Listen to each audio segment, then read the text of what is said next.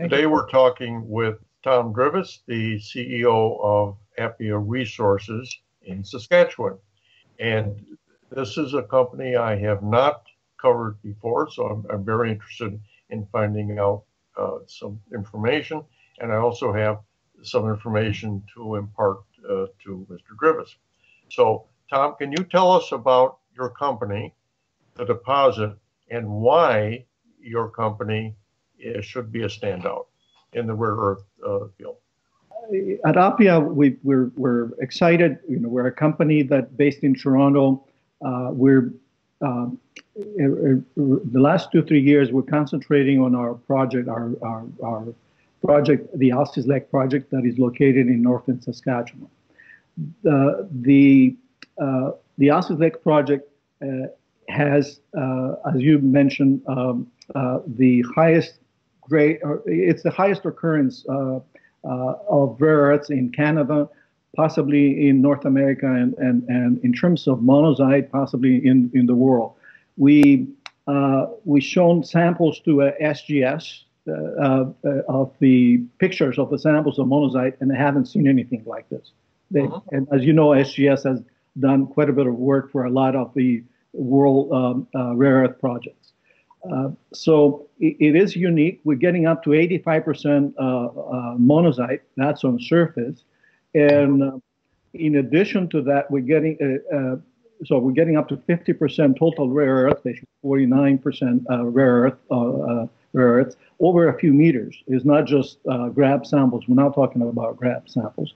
This is a uh, uh, we got uh, six or seven zones right on surface, and then and then with some drilling that we did, we, we hit some blind zone subsurface, and uh, and it it is uh, quite exciting. In addition to that, is uh, we when we looked at when we got involved with this property, I staked it, and um, uh, the the uh, a few years ago when rare earths were basically again in, in high demand, the Saskatchewan government geologists uh, went and looked at all the projects, rare earth projects in Saskatchewan, and, and, and the Alces project came as, as, number one from some old trenches. They were getting up to 27% uh, uh, rare earths basically, and and they and then they went back the following year and and and then we start uh, doing exploration, and as I mentioned, we're getting up to uh, 39, uh, 50, uh, 50 uh, sorry, 49% uh, total rare earths.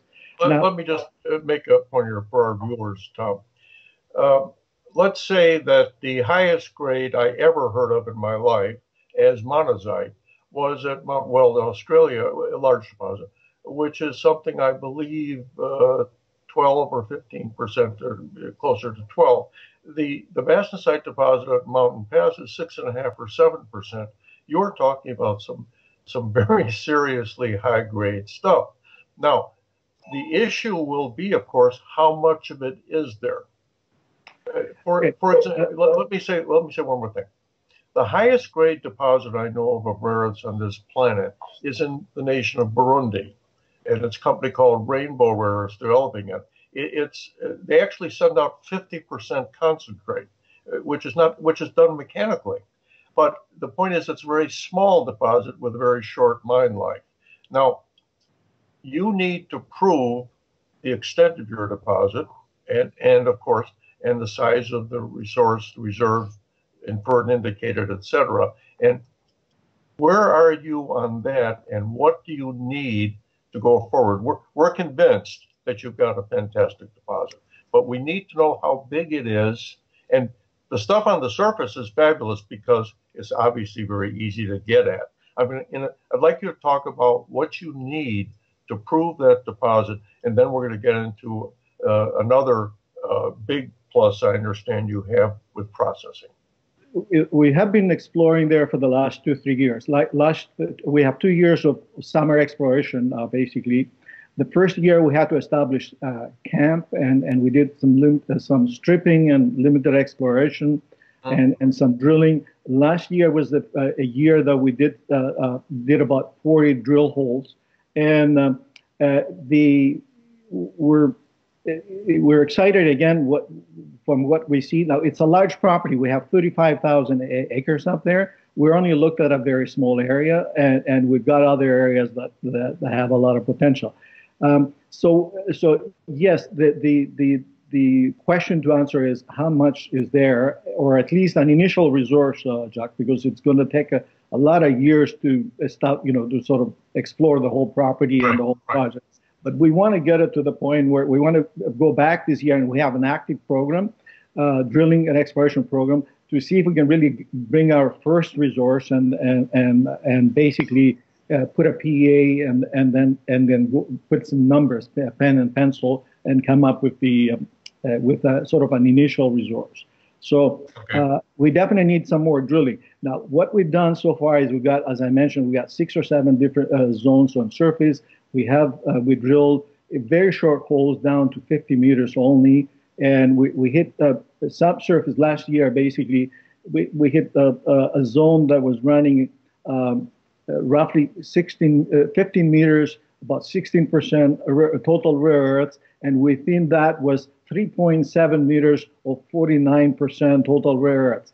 The, the other crucial uh, uh, uh, thing here is the mix of rare earths. We've got a quarter of our, of our total rare earths are critical rare earths, neodymium, praseodymium, and uh, which is needed for the for the uh, um, uh, magnets and all this. So, in addition to that, before we Appia got really excited about because uh, about this project, because we know we uh, we know there's a lot of rare earth projects. It's just that you know the the mineralogy is very important. So we we before we even started two years ago uh, to get really excited about this. We did mineralogy studies at the University in, in, in Saskatchewan and, and University of Toronto, and we were surprised, surprised to find out that all our earths are contained within monazite, and it's it's coarse grain monazite. And as you know, uh, the process of extracting rare earths from monazite is well known. So, so we've got a, uh, we, you know, not only we've got high grade, but we've got the the the right mix of rare earths, and we do also have the the uh, coarse grain and, and, and all in, in monazite. So so that's sort of exciting. So yes, we're gonna we're gonna eh, we what we want to do is uh, we want to jumpstart. Uh, we want to basically go in and hit it really hard with exploration and drilling to see if we can really come up with the with an initial resource. Okay, the, it you know the University of Toronto is probably the outstanding our rare earth R and D uh, place in in Canada for certain, probably in North America in my opinion, mm-hmm. but. Um, I also understand that Saskatchewan Research Council already has in place a, a, solvent extraction system, pilot plant size, built for them by ex-Chinese uh, scientists and engineers, which you have, which has looked at your material and believes they can run it. Uh, is this correct?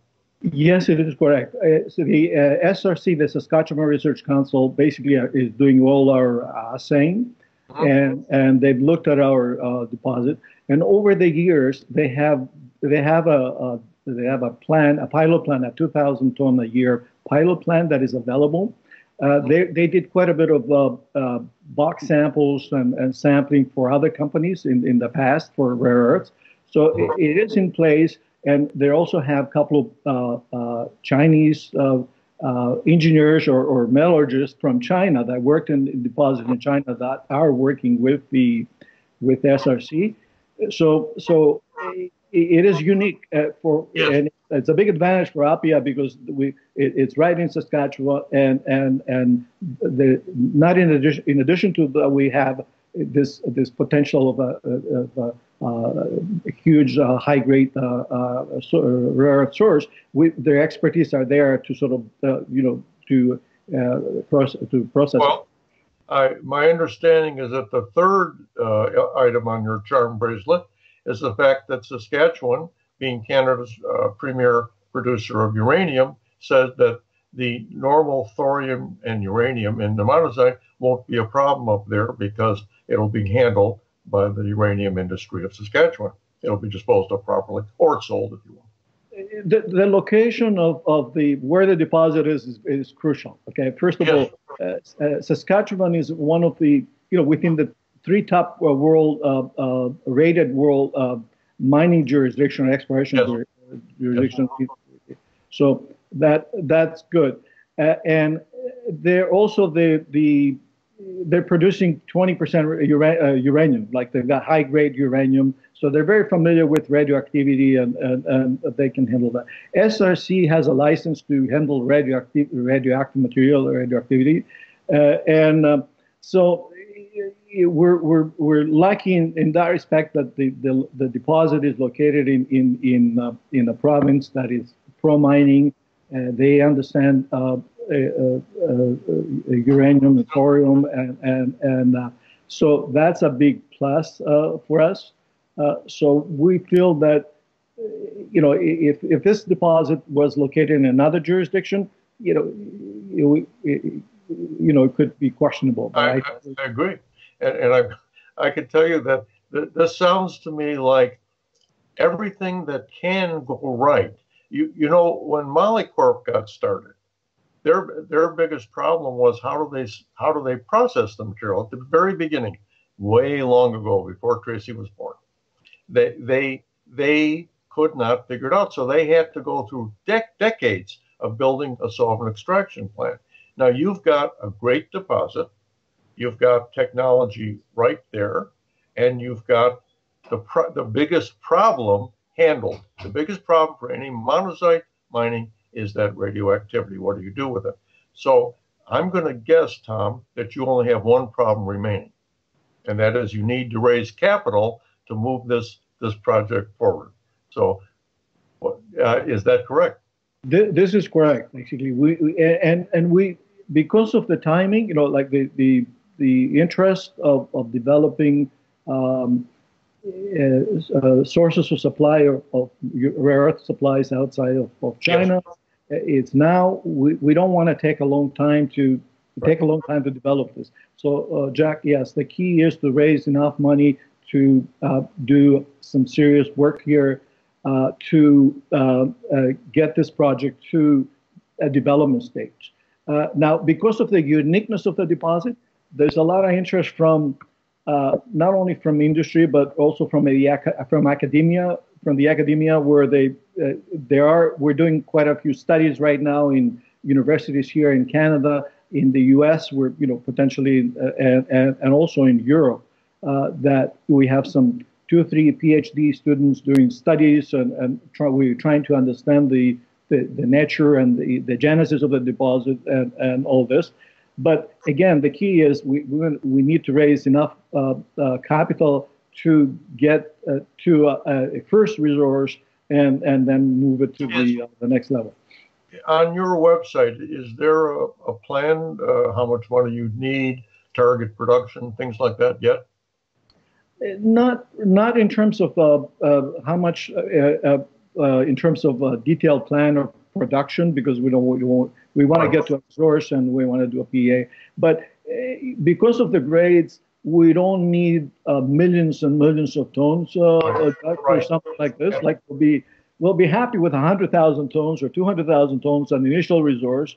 Um, yeah, just just for uh, uh, for uh, for people to understand where we're looking at a, a ton of of, of um, of our ore at, at Wilson Zone, eh, we're looking at sort of 8, 10%. I'm not talking about 30 and 40 and 50%. Right. Just um, 9, 10%. Will will contain about a uh, 90 to 100 uh, kilos of, of total rare earths. Of, of that, 25 kilos would be uh, basically critical rare earths. So, right. so you know what the economics are. You know, it's just the uh, it, it's uh, super. Uh, you know, it looks you know very well, very exciting. you you would then be out you would be out producing by tonnage ratio Molycorp, and quite frankly, you'd uh, be doing a little better than than Mountain Pass. And, and I, look, Tom, I wish you all all the luck, and I'm going to follow this uh, because, quite frankly, I think you've got. Uh, I don't want to. I don't want to be caught out here as as a rating scale, but you're in the top one or two in North America, in my opinion, of deposits. And if it proves out to be of the right size, because we know the processing chemistry is well known, then you got a winner. a real winner. And thank you very much for Thank you so much, Chuck. We're very excited and thank you for, for, for your time.